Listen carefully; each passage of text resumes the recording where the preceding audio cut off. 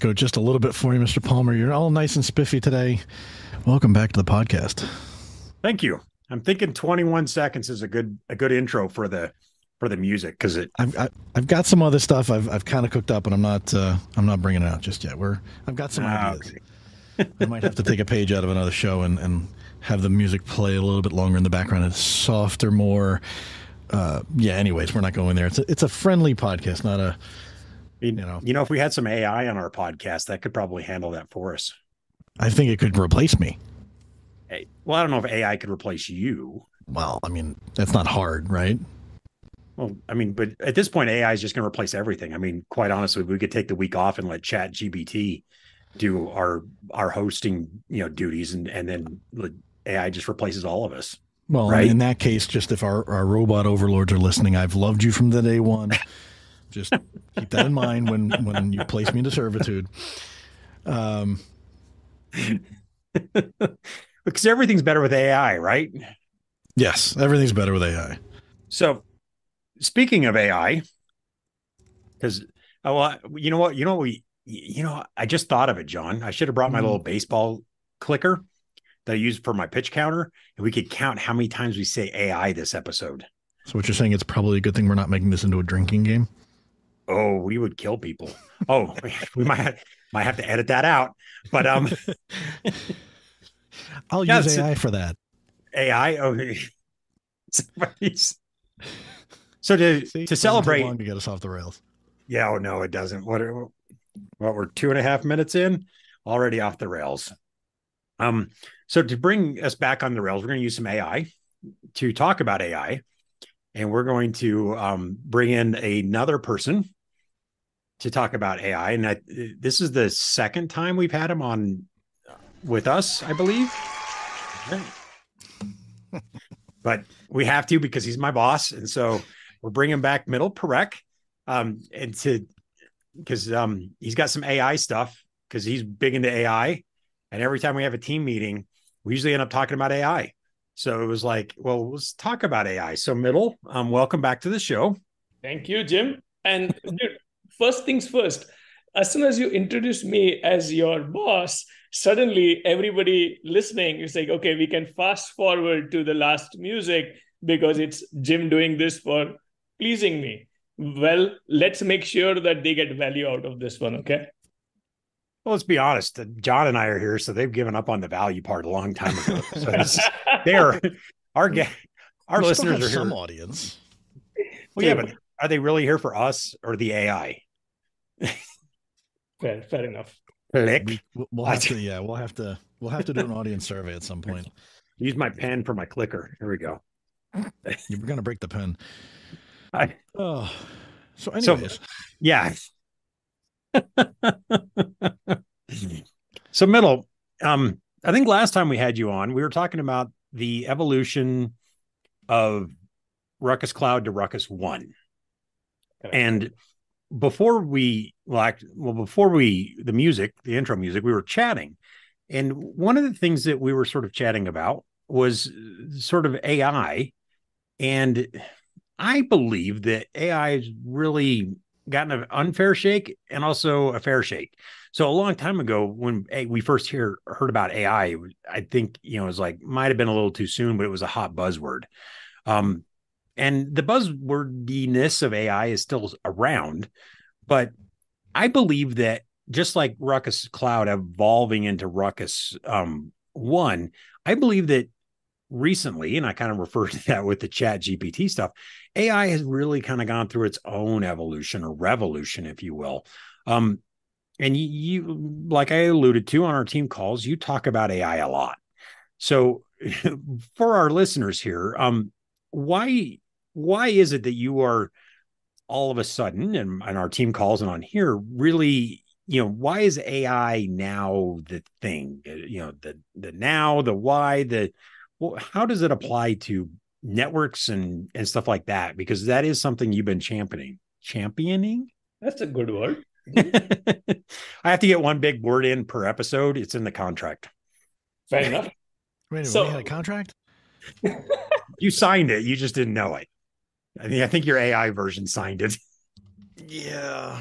I was definitely somewhere for that. Anyway. Yeah. Okay. So, so here's the thing, Jim. Uh, you rightly said, right, that I or we discuss AI a whole lot in our team meetings, and for the right reason. Yes, there was a time when everybody used to pay lip service to AI, but I'm going to tell you a few things where you will be convinced that for network management, I think AI is becoming slowly, but for sure, a de facto standard. It is the, you, you just can't get uh, get away from AI. It's increasingly important for uh, network management for today, and and many reasons. So as you know, I always write my even in my emails in bullet list, bulleted fashion. So of course, I'm going to come up with a couple of bullets, and uh, lo and behold, as I started thinking about it, I came up with one dozen, 12 things. It just caught my attention that this is why now is the time for AI in network management. So I'm going to pause just a bit. Yes, a one dozen, right? We've been chatting about it in team calls and what have you. But when you put all those together, I bet the listener right now or all your listeners they'll have probably two more of their own making it 14 or even uh, 18 and 20 right i'm just going to rattle off 12 of those so if you are ready with your permission so so hit us. What do you Excellent. got? All right so let's talk about the complexity of modern networks right?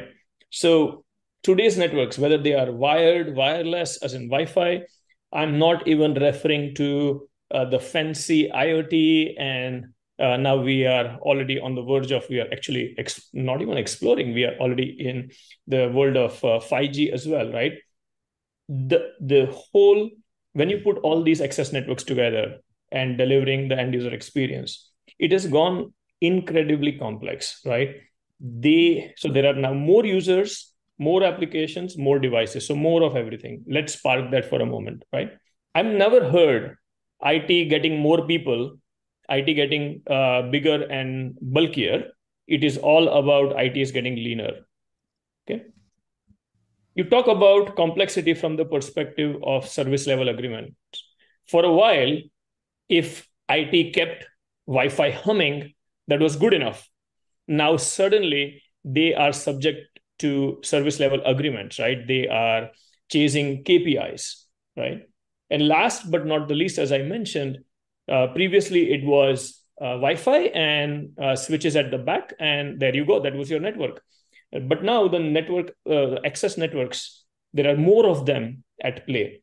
So imagine. Let, let's just pause. This is the biggest reason for AI because the networks networks are complex now let's play this out. The second one, big one, equally big, is need for real-time monitoring, analysis, and analytics.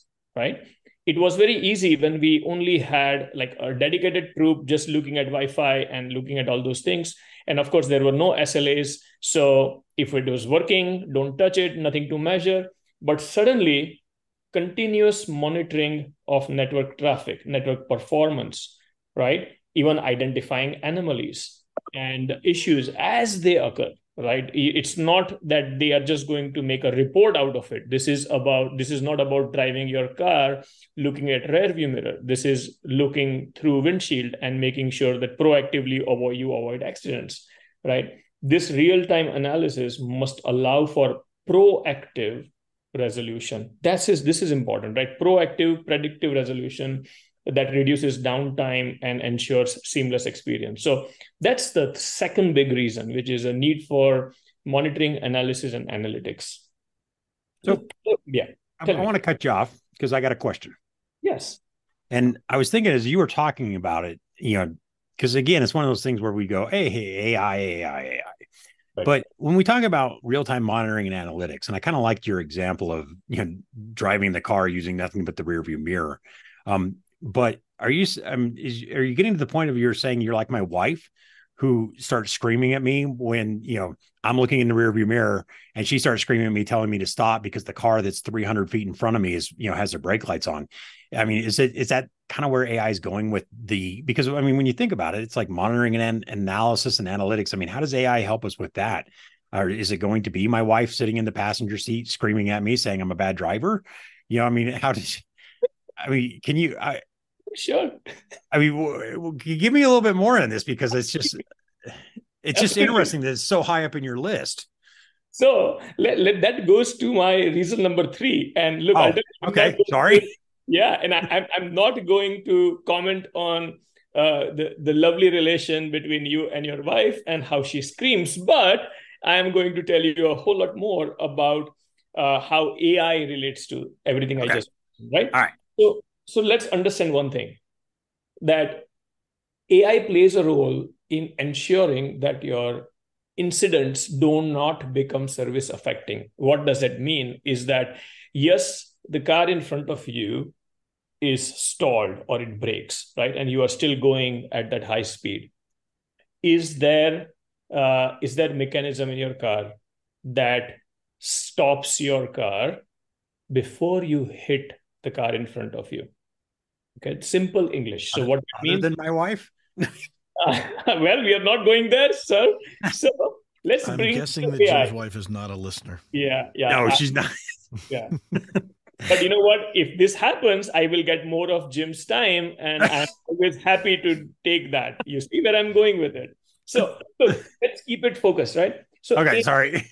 AI-driven analytics. So it's all about proactively avoiding incidents from becoming service affecting, right? The this enables network administrator to address issues before they impact all those users applications devices before it affects those slas that are imposed upon them right you it, there is and, and let, let's do this park this reason number three for a moment and then i will tell you uh, more about it right once i've exhausted my one dozen list because uh, you know uh, painstakingly I went through for hours to enlist these for you.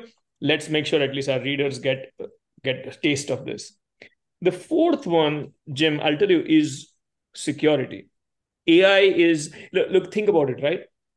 For a while, you were keeping an eye on only one sheep in a herd, and and you're just perfectly okay, right? If sheep misbehaved, you knew now suddenly you have a herd of sheep you have a couple of horses you have cows and uh, goats all those things right?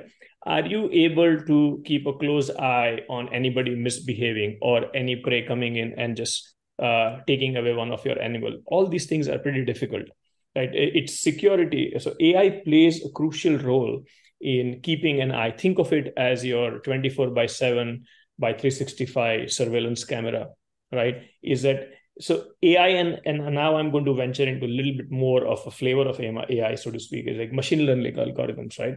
They can detect and respond to security threats in real time. They are very good in detecting anomalies, right? They can see, aha, I see a very abnormal behavior. You never taught me, you never told me about it, but I see something. It's very difficult for IT administrator to identify that abnormality right? When they have so many things to deal with. Identifying patterns of behavior that may indicate an attack. That is important, right? The, so AI helps in uh, identifying these evolving threats, and they are soon getting smarter in updating the defense mechanism as well right they uh, ai could very well come and tell you that jim i think you should be changing your configuration this way so that that particular thing doesn't happen again let's pause for a minute right it gets that level of help because of artificial intelligence right so uh, I think there is there is value to it, right? This is where AI and why now it's justifying its uh, existence in network management. Another thing comes to my mind is uh, quality of service, right? Is are you able to auto automatically? As in no it doesn't have to know everything all the time but imagine you are the ceo or ceo of an enterprise or principal of a school or a dean of a university right? Or that that upper echelon of uh, patrons at a high end resort right? Am i able to continuously keep an eye on your usage and and then identify that haha i need to prioritize certain applications certain services right? Ensuring that they receive certain necessary bandwidth. I, will go even all out and say that look if this is a hospital and there are certain class of devices right that it hasn't classified well somebody came and plugged it in but are, are you now able to identify based on the usage pattern that aha these devices need their own swim lane for a, for uh, the lack of better word right? Being able to deliver that quality of service is very essential. And simple things like video conferencing for if you have a board of directors meeting are you able to sense that and deliver that qos see think now all whenever you talk about ai think about how well it would have been able to do on their own right? Without such a help what all tooling what all facilities would they need in order to deliver the same end user experience right now so but all the automation sounds great and i'm sitting here thinking okay i'm going to put ai in my network right and I'm going to get to to get a nice comfy chair. I'm going to ask my boss for a comfy chair. I'm going to kick my feet up. I'm going to actually get some downtime.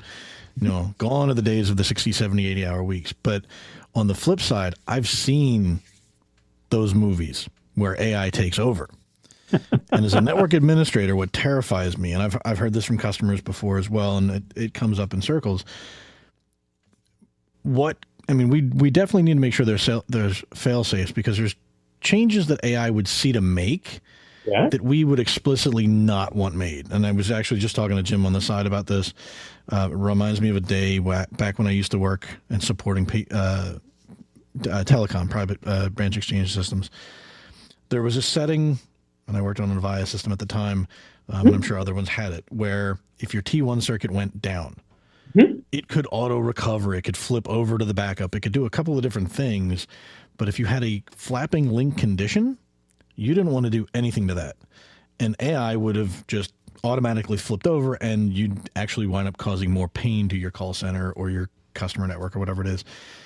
And it's one of those things where literally the first thing you did when you configured that new circuit was to turn that off.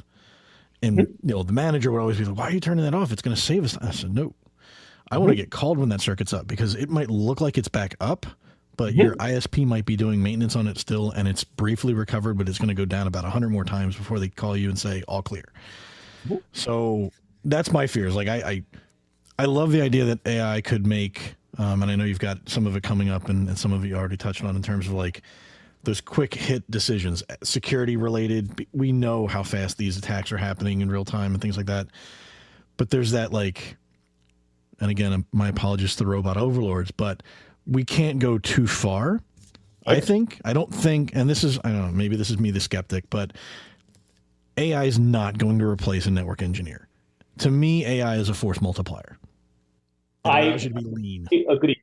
I I hundred percent agree, and some more. So so let's unpack you. Uh, and uh, so for my viewers or listeners, uh, John Deegan is an SE. He's a techie and he always worries that geez what if ai took my role and i can assure you that no it's not going to take your role it's in fact it's going to make you much smarter so let me let me tell you a couple of points here right uh, first and foremost is that whenever an, an, enterprise deploys ai system right for the network, network management one of the things they should be looking for is that is this system smart enough to give me mr it opportunity to turn off few things right? Ai is ai it's going to show you all sorts of so to speak anomalies right or these incidents so to speak.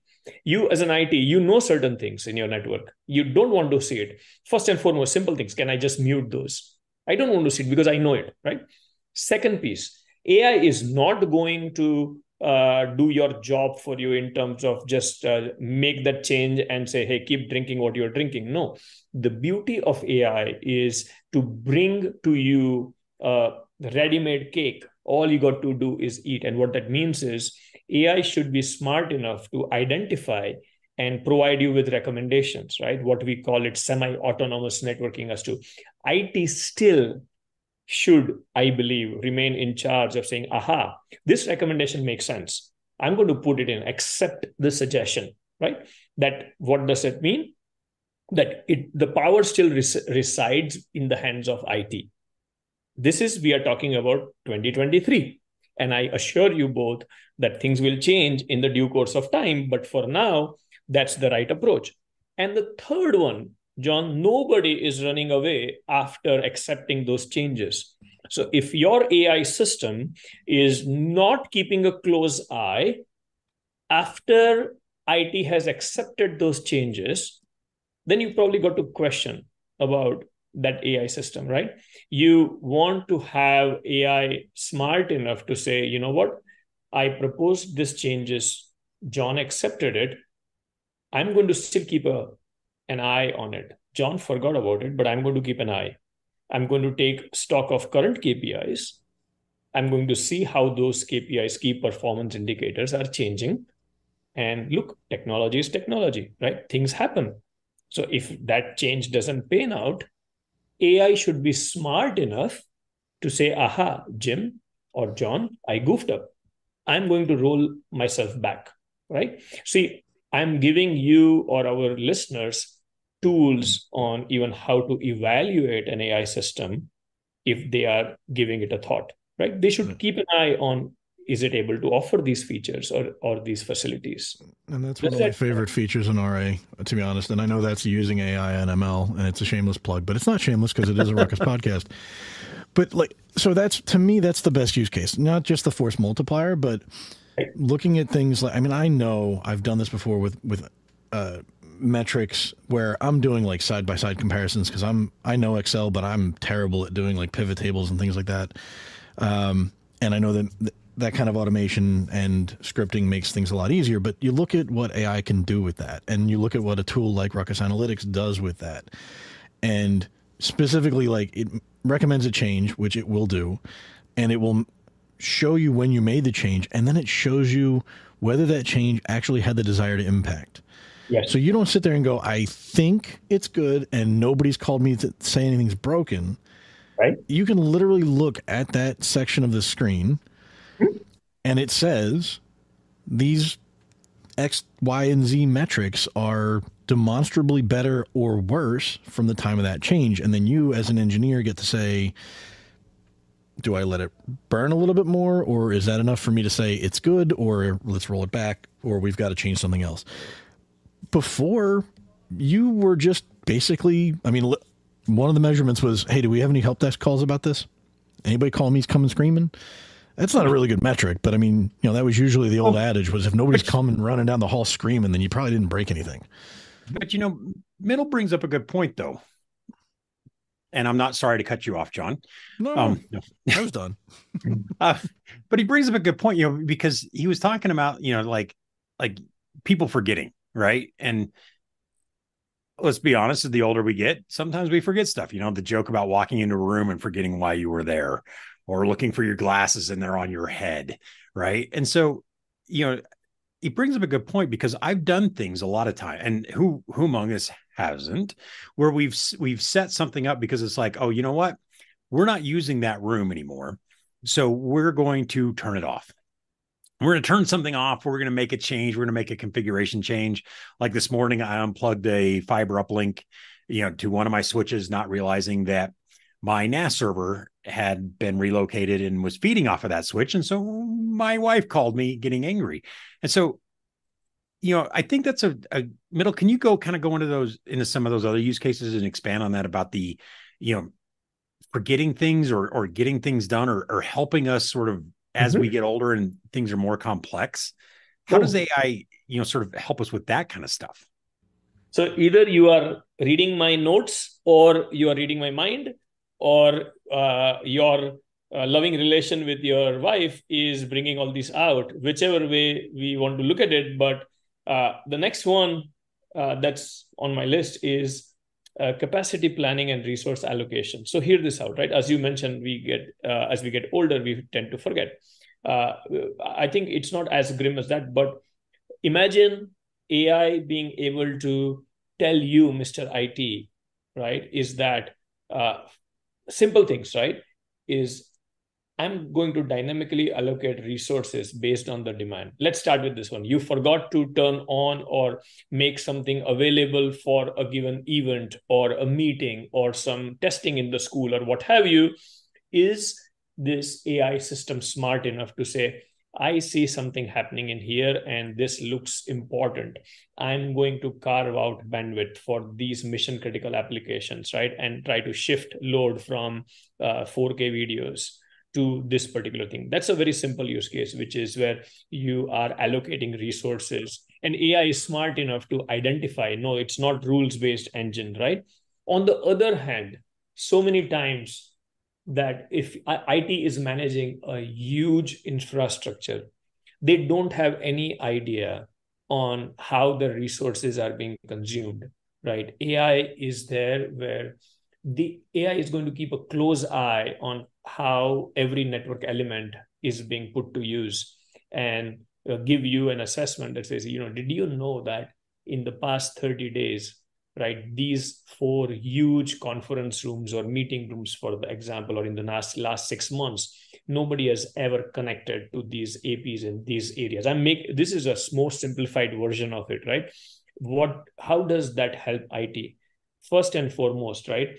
is uh, and I, am going to touch upon that one, but I'll I'll tell you beforehand is energy efficiency. Very simple. At the same time, when it's upgrade, time to upgrade or time to refresh, you precisely know what uh, infrastructure do you need at the time of your refresh, right? Believe me, with this uh, proliferation of users, applications, devices, focus on SLAs with IT getting thinner and thinner and more access networks at play, it's getting difficult for them to keep an eye on sizing their uh, infrastructure the right way or being able to allocate resources for mission critical applications right? It's not easy. And uh, thanks ai is helping them. Now that brings up a good question. I, I touched upon it just a bit. Energy efficiency right? Imagine that AI, and, and this is again not about school that uh, shuts down operations at 5 p.m. and nothing happens till 8. It's very easy. 5 to 8, don't don't show me anything. It's simple, right? Uh, IT can definitely do it. Let's give credit to IT and engineers as and where due. But uh, dynamically, if AI senses that, aha, I do not see anything happening in here, do I uh, do I just put these in low power mode? Right? Just simple use case and and it gets more serious after that. You know what? Law or of large numbers is at play here. If it's just one ap or two aps a couple of cents here or there wouldn't uh, you wouldn't mind. But when you are talking about large installation uh, it does matter. Energy efficient uh, uh, devices energy efficient infrastructure on the heels of ai and as the ai costs are going down right uh, AI uh, from the perspective of compute, storage, and networking, uh, these these savings now look pretty handsome. You are not saving pennies while spending pounds. Now the equation is getting a little more balanced, right? And that brings me into a big topic of cost reduction. Believe me, nobody likes to talk about it, right? As soon as I say AI can help IT with cost reduction, the first thing is like, am I going to lose my job? And the thought process here is not to lose your job. The thought process is about improving efficiency right? So uh, let's let's talk about how does the cost go down right? Right now if it were to do everything by themselves right and cost comes from variety of things the time that we, it burns the subject matter expert time sme time that's also a cost. Imagine if you are able to save an hour here or hour there in a in a typical IT day for an SME. That's the cost that you reduce from a given daily manual bland operation that can be redirected, rechanneled to something more strategic right? Lot more to unpack there. Uh, essential to say and convey here that cost it's not about firing any employee. It's about reducing cost on things those are that that can be handled by ai right? Now the, the next one that was on my mind was more and more complex technologies are being deployed are constantly entering uh, your uh, uh, enterprises right? Uh, as latest as uh, 6 gigahertz. We all talk about this what 6 hours out of 8 hours of work every day right 6 gigahertz this 6 gigahertz that and uh, you probably both are tech, more technical than i am but we all know that uh, simple things like channel planning, right? Talk about uh, planning channel from channel, channel width, and transmit power, right? There was a time where 2.4, there were only three non overlapping channels. Uh, IT, you know, you both probably did it, the channel planning with pen and a pencil, right? Or pencil and a paper. And you did it by hand, maybe uh, a nice uh, ruler, and you drew some tables and it got done Try no, doing. We use we use solo cups. See, yeah, and they were nice more. because they were dual band because you had the small circle and the big circle. You know, the mm-hmm. bottom of the cup and the top of the cup. So yeah, yeah. we we use solo cups, but I, so, I still do. But this, but this raises an interesting thought, right? And this is, and Jim and I know this, and especially as you go to any of the Wi-Fi conferences, I mean, this is literally like these are fighting words because and I mean I learned it from the minute I got into Wi-Fi. You've got the side of the house that wants to do all static channel plan. Mm-hmm. And the side of the house, and it's been in, in tools, whether you want to call it AI driven or not, it's been in tools from all sorts of different vendors for years now, where you can click a button and use the magic wand and it'll auto do channel plan. Um, and that's not even to get into the fact that like you look into our product and most other enterprise controllers and you've got automated radio resource management that does that for you. You literally flick the setting on and it's going to move the APs around based on a number of different factors. So it's it's almost like I don't want to go say it's like a religious fight, but having been around some of these debates, it gets really intense because there are, are people, even today, even in 2023 and projects that I've been involved with, that on a two, 3,000 AP deployment prefer to do static. Um, My my one feeling on this, and it's it's sort of I don't want to say AI in this case might make an engineer less sharp, mm-hmm. but there's definitely that feeling from some of the old school engineers. There's almost like a condescension. They look at uh, some of the newer folks that only use the auto channel plan, and, and to me, it's kind of like. Well, I'll, I'll take a, a page out of the ham radio book, right, Jim? I never had to learn Morse code to get my license. I mm-hmm. could have. I didn't. And now with apps and, and all the other stuff, nobody uses Morse code. It, it's one of those things where, like, if, if all the technology continues to improve, they don't need to use it anymore. But then when the technology breaks, even for a little bit, mm-hmm. what happens? I mean, it's like the, my kids nowadays with calculators, they can't do math as quickly as we can because in, you know, the, the, last century when we were in school, you had to. There wasn't you, you, didn't have a calculator in class. You had to learn how to do all of this in your head and we go out and do math, yeah. and I'm like, I'm just rattling off in my head, and they're like, "How'd you do that?" Let me, let, but let me throw in something else. You mentioned the ham radio stuff, right? I tried to learn Morse code. I failed horribly bad. So you know, so it's not just it's you know, it's and I was talking to a group of people earlier today before this this we were recorded this, and you know, it's like, it's like it's not that people are ignorant or people are dumb or anything else like that. Is it's it's just that some of us are better at this than others. And so when you start talking about i think Mittal's going to go there here in a second we start talking about ai it's it's and it, it goes back to your force multiplier thing right it sort of levels that playing field it gets people back up you know it sort of does all that stuff for us so it's not i don't think it's a matter of you you you know yeah some people can some people can't but it's just you know it's it's sort of that leveling the playing field so I just wanted to say I, I, just want to say I tried to learn Morse code and I couldn't. Now, now allow me to allow me to uh, connect all these dots here, right? Look, uh, channel planning with this six gigahertz in the play, right, is literally garbage in, garbage out. Like people see all these big numbers. Is that as soon as I adopt six gigahertz, aha, my bandwidth is going to quadruple, and you know we'll have eight times benefits and this and that. What they many people fail to acknowledge right is that uh, it needs to be configured well right uh, either you do it by hand as you rightly mentioned that you used to do it with cups and this and that or you re- uh, rely on some professional help. And guess what? The professional help is not another it consultant. You don't need more human intelligence in in this one. You guys are intelligent enough. Uh, it's all about artificial intelligence because it is uh, if you see uh, 2.4 to 5 to 6 gigahertz right? The channel planning is getting more and more complex. And uh, what happens is tooling it by hand it's going to uh, literally have you do that every night so to speak. Now imagine if ai comes along and says hey guys you relax. I'm going to take a stock of your network every 24 hours. Identify how you need to readjust and give you a ready-made channel plan. And then say john i like that you are techni- technical. I appreciate your acumen.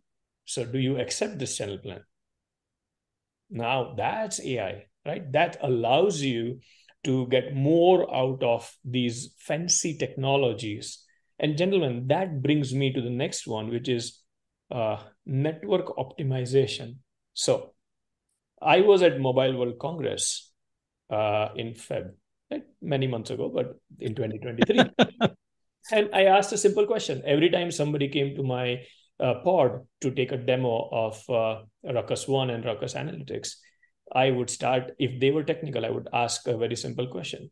And that is, how often do you optimize or tweak your network, right? So that you know you are getting the best out of it and half of them laughed at me the way you both do all the time in your podcast. And other half gave a very straight faced answer and that is never. We don't touch it if it is not broken. Now so what does it mean? You bring all these fancy network elements into your ecosystem right? And you have no idea whether you are getting the maximum benefit out of it. So you've spent enough. You are maybe happy or just okay with the performance of your network it barely meets slas you somehow make it happen and then you don't touch it. Now this is exactly where and you know why you do it? And i and i played this out and i and i asked why. And they said 60 odd percentage of our time goes into keeping the network humming. I'm not going to burn the rest 40 in so to speak tweaking the network optimizing the network. Now, I invite AI here in this use case as well. And they say, okay, what if artificial intelligence? So now let me give you an analogy. Think of it as a 24 by 7 by 365 CT scan of your network, right? So imagine you going to a doctor when you are sick versus the, there's CT scan happening 24 by 7, and they'll tell you uh, there is an opportunity to improve, John, uh, to look slimmer, younger, more burly, right? Things like that. I know, I know. Look at your expression, my friend. But uh, uh, bringing it home is that uh, so much of network resource go unused because of IT's mindset. Don't touch it. Now, if AI were to be at play, it would say, "Aha! I know how to eke out gains out of these APs, or get more bandwidth, or reduce the delay, or reduce the latency out of your network by." tweaking these configuration do you accept this change right that's that's music to it's ears and that's what that's the value that ai brings yeah. and uh, i'm uh, i can share with you certain findings right?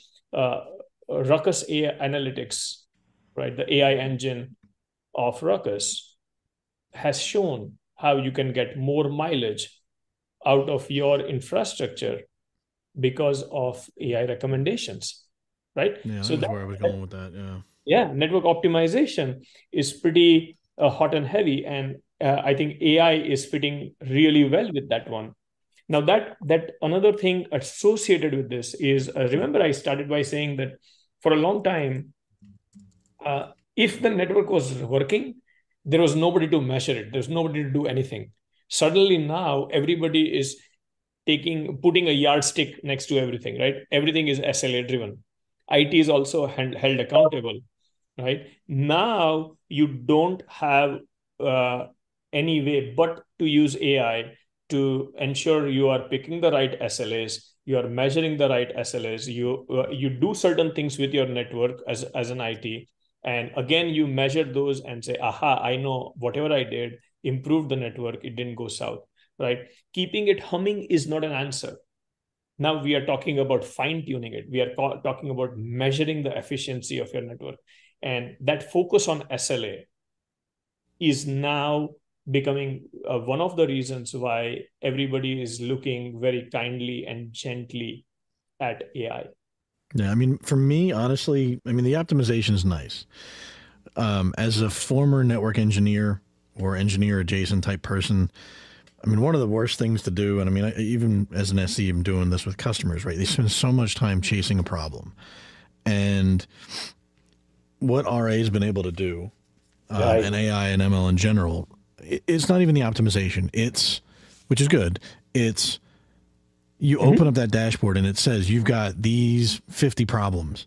Mm-hmm. And instead of taking two or three hours to fix something, you know right away it's DNS because we all know it's always DNS, um, or it's a DHCP server, or whatever the case may be. But it, it's trying to help you. It's basically shrinking the size of that haystack and increasing mm-hmm. the size of the needle and that yeah. you know you've talked about saving money and saving energy and and I've got some different thoughts on that. I don't know that we can go back to that right now, but I don't even look at it as that. When when people look at uptime as money, hmm. or if you're selling to the customers and the customers can't get on the network and the customers are suffering, it's it's shortening that time to resolution, which is huge. Um, okay. But to your point, and sort of to address my skepticism, that's the part where we as network engineers, whether it's a CWNE or an RCWA or a C, you know, whatever, th- we need to review the feedback because eh, even even right now with RA, you'll look at that dashboard and there's going to be some things on it that don't require actional action at all to be taken because it bothers the AI engine, but you yes. and I know that it's just normal behavior. It's just it's that's what's going to happen. It's okay. You know about it. It's you know maybe there's an AP down and that site just had a, a water leak and the AP's unplugged. Whatever. But that's why that human inter- intervention is important, um, and that's where it's leaning on our expertise. But it frees us up. You're you're spending less time troubleshooting, and it gets you back to that optimization, which is more important, I think. So, yeah, definitely so, force multiplier. Yes. Now this should answer your initial skepticism that maybe somebody will AI someday AI will replace you, John. I don't think we are going to get there, right? AI, artificial intelligence, is meant to augment human intelligence or it provides human intelligence uh, a, something of higher value to be pursued, right? Now you can take all the wisdom that you have and use it to create a better universe versus fixing the current one because the AI is fixing the current one. You see where I'm going with it, right? It's not about replacing, it's about freeing up this precious human intelligence to take on uh, projects of uh, greater importance. So you've given us a lot to think about. And if you have time, I'd love to um, have you back for another episode. So if you're down with that, we would love that. okay. so let's uh, let's so I mean, because this is a, I mean, AI really is a lot of stuff, and so um, if you're cool to stick around for, and I'm thinking back to my when I watched baseball and they have a guest in the booth and the inning goes really fast, and they're like, "Hey, if you can stick around for another inning, we'll continue this conversation." And uh, you know, after the commercial break. So, um, if you're cool sticking around, because I, I, I, I still have so much I want to talk about and ask questions and stuff like that. So, if you're cool sticking around, um, then um, let's let's go ahead and have you back for another episode, and we'll we'll dig more into the Ruckus AI. So, yeah, we can do Ruckus AI. In fact, I'll tell you one thing, right? That we went through all the reasons why now is the time to look at AI kindly in network management. Uh, maybe next time when we are discussing, we keep it razor focused on how Ruckus uh, Analytics, the AI engine, right, is helping our customers right now with many of these. And guys, I'm very sure that even in the next episode, with all these nice, funny banter that you've got going, we will not be able to unpack all of it, but at least we can give it a try. Awesome. So with that, John, I think we I think we can go ahead and put a bow on this one and then um we'll we'll bring Mittal back and we'll talk about some more uh stuff about um, AI. Sounds like a plan. Thank you, gentlemen. Thank you, sir.